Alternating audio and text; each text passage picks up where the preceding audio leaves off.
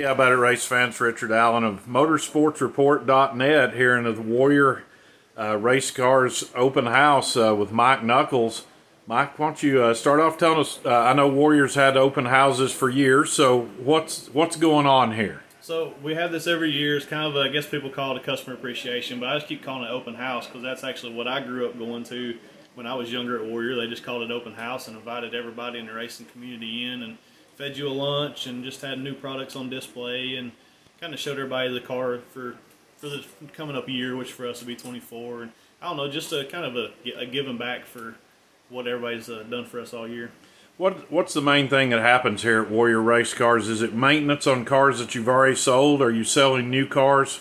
I mean, obviously you want to sell as many as you can, but uh, what's what's the primary focus in a day-to-day operation here? Uh, the primary focus is first to build brand new cars. Uh, we, we stay really steady. We're averaging 18 to 20 new car builds a year, and that's 20 new car builds off the jig every year. That's just me and Kevin working here.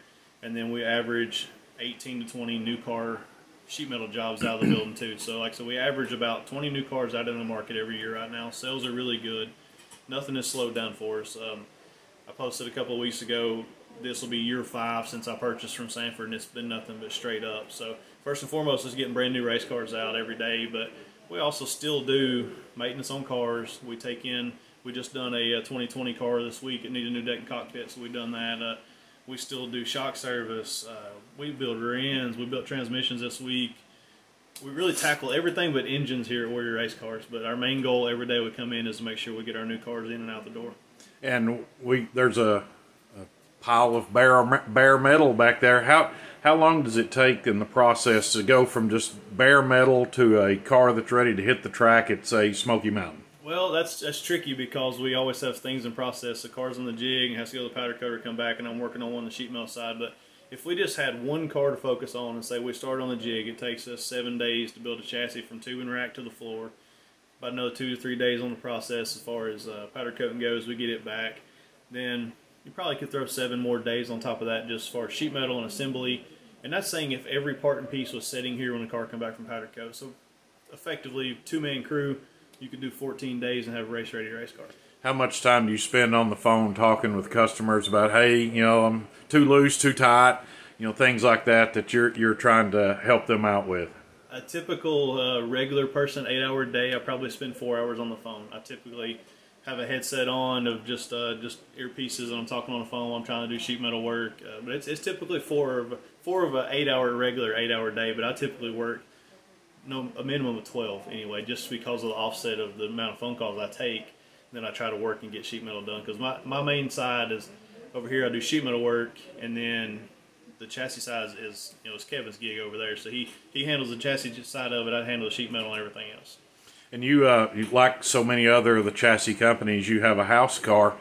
Uh, what what are you gaining from the house car? What's the point of, of any chassis builder to have a house car? Mainly just uh, for one, first and foremost, it's supposed to be just R and D. That's what we really gained from that. Uh, we put 975 laps on our motor this year. Half of that was testing. We've tested all around East Tennessee this year. We've been in Louisiana, down south, and testing.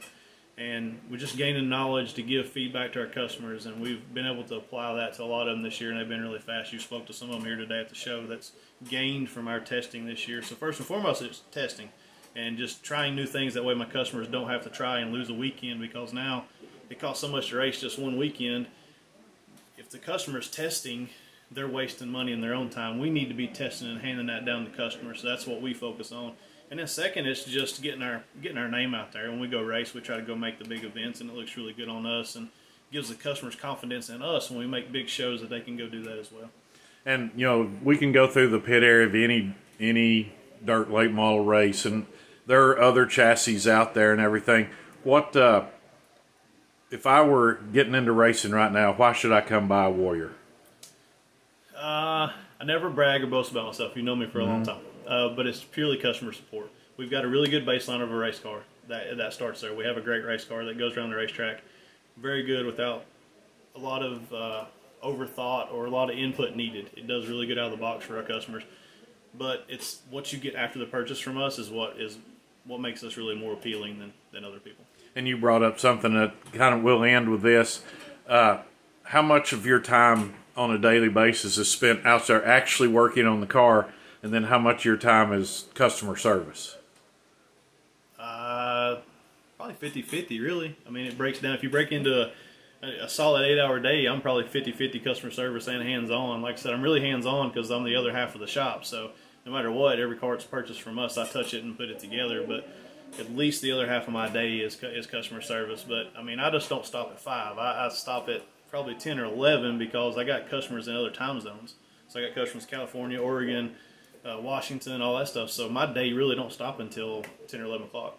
All right, that's Mike Nuchols of Warrior House Cars. We appreciate your time, Mike. Thank you, Richard.